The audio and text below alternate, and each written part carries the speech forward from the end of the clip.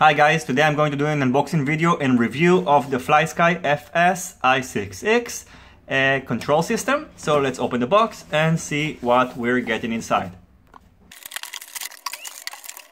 So inside we're getting the instruction manual, we're getting some stickers that can be used here on the switches, and we're getting this receiver. This is the FSX6B receiver. It's a pretty light one. We're gonna weigh it later in this video. And of course, we're getting this controller. It's powered by four AA batteries. Instruction manual shows us all the function of the transmitter, how to bind it with the receiver, and gives us all the specifications. The channels are between 6 to 10, and we can also see all the dimensions here of this uh, transmitter.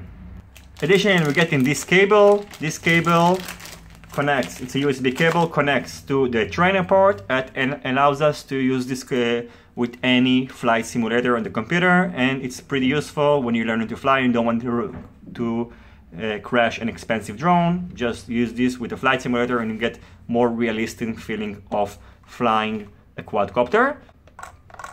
The gimbal feels okay. This is the throttle. It's not so smooth, but you know this transmitter costs about 50 bucks, so comparing to a $200 uh, Taranis is not that fair. So I think for 50 bucks you're getting pretty good value for money, especially considering that you're getting uh, this uh, S-Bus re receiver as well. So let's go through all the functions of this remote. By the way, you have six switches. You have this one, the SWD, which has two posi positions. The SWC has three positions. The VRB and VRA are rotating in this manner. SWB has two positions and the SWA has two positions as well. Powering the transmitter is done by just sliding this up and it immediately turns on without any problems. To enter the menu, all you have to do, press the OK for about one and a half seconds, then you can choose between system and setup. We're gonna start with the system. So you press OK, and you can see all these options. You can ch change the model, you can change between 99 models, I think, Sorry, you have 20 models, so you have limited to 20 models, which is not that bad because probably you don't have more than 20 models in your home, hopefully. And you can change the model name to whatever you want. Type, you can choose between an airplane or helicopter. If you fly in a quadcopter, leave it on airplane or glider. Uh, by the way, if you want to just to cancel, don't save anything, just hit the cancel and the options you changed won't be saved. You can also copy the model, reset it, RX setup. You can change the battery here in the, for example, the internal sensors here, when it's low and when it's high. Uh, failsafe, what happens if uh, it will lose connection with the receiver. Sensors list, you can choose between different sensors for telemetry. Speed distance, not sure what it is. And the iBus setup, by the way, the provider receiver with iBus. I said earlier S-Bus, I was wrong. This is iBus. And let's go to the this setup.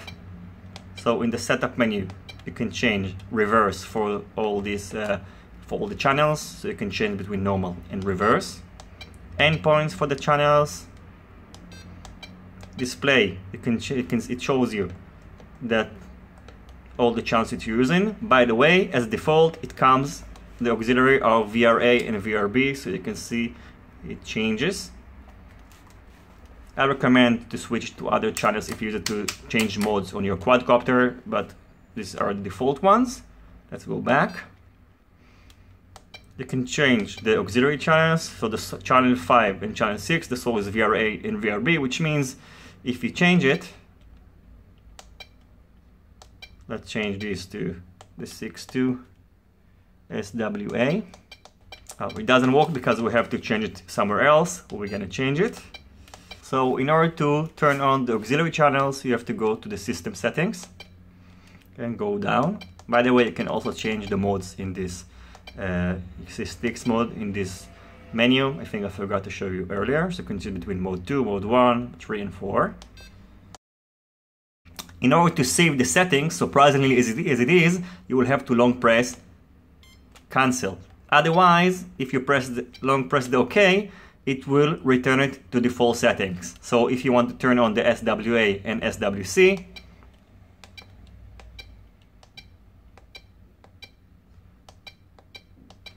and long press the cancel. Now it saved. Earlier I tried it and it didn't save. So now you know. And we can go to auxiliary channels and we can change the source to SWA and SWC. And again, long press the cancel in order to save it. In addition, we have all these trim buttons. We see here. When you hear this sound, it means it's back to center. And we also have a dedicated bind key. In the this section, it tells you how to use it. And the receiver that comes with this, this the iBus receiver that we're getting is already come pre-bind with this remote controller. The receiver is uh, pretty light and weighs almost 5 grams and you can see the antennas are interchangeable so if you have a problem and it got cut or something like that you can just replace them with uh, this standard standard connector. I think for 50 bucks, I haven't tried it yet. I'm going to do, the next thing I'm going to do is bind it with one of my quadcopters and uh, we'll see how it goes. But I believe I've reviewed earlier versions, other versions of the FlySky, like the FlySky FS i6S and it was a pretty good remote controller and it provides a very good value for money in case you don't want to invest in a more expensive remote controller. I hope you enjoyed this video. If you have any questions about this remote controller, feel free to ask in the comment section below and don't forget to subscribe to my channel. Goodbye.